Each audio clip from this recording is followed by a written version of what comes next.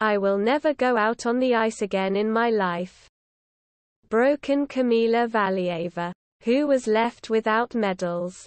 And the hysteria of silver, Sasha Trusova.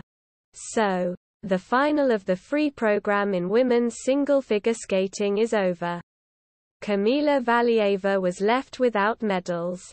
The 15-year-old figure skater took fourth place, while the current Olympic champion Anna Shcherbakova took the podium. Valieva was not included in the top three. Numerous squabbles and scandals have done their job. Kamila Valieva did not even make it into the top three. The 15-year-old figure skater took only fourth place in the women's single skating at the Beijing Olympics. The girl could not hide her disappointment and burst into tears right on the podium. It's good that the imperturbable Eteri Tutberidze was nearby. Obviously, nervous tension had an effect. Kamila Valieva found herself at the epicenter of an international scandal the day before. Even despite the positive outcome of the proceedings, the nerves of the 15-year-old athlete still passed. Show the best result did not work. First place went to Anna Shcherbakova. Kamila Valieva upset by the outcome of the Beijing Olympics. The 15-year-old athlete failed to become a leader. The figure skater took only fourth place. So the awards ceremony will not suffer. Because Valieva is not among the winners. I went for victory. But all the squabbles and scandals clearly unsettled the skater.